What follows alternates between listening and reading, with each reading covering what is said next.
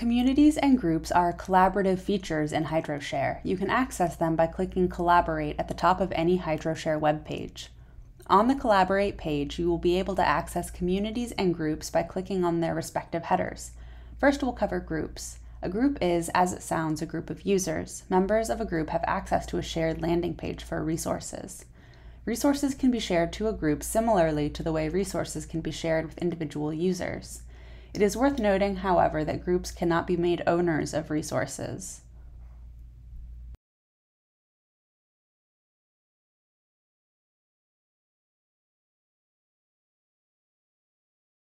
Search for an existing group. Use the free text search on the Find Groups page.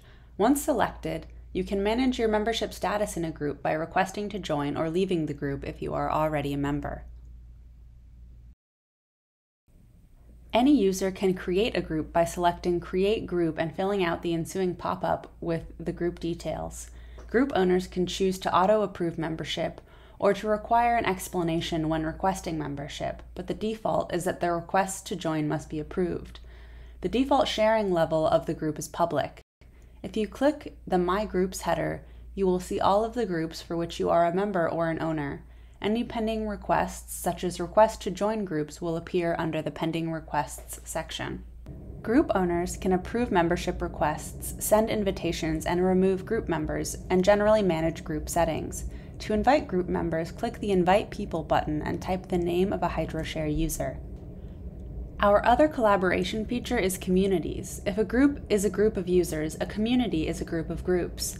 A community creates a shared landing page for resources from groups that contribute to a larger organization. Resources that are public and shared to a group will be shared on the community landing page.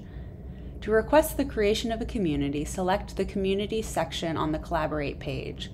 Click the green Request New Community button and fill out the fields in the ensuing pop-up. While the request is pending, it will appear in the Pending Requests section of your My Communities page. Once the community is approved, you can invite groups to join the community and manage requests from communities that have requested to join. Community owners can invite groups, approve membership requests, remove and add other owners, and generally manage community settings. This includes the ability to change group membership rules and delete the community.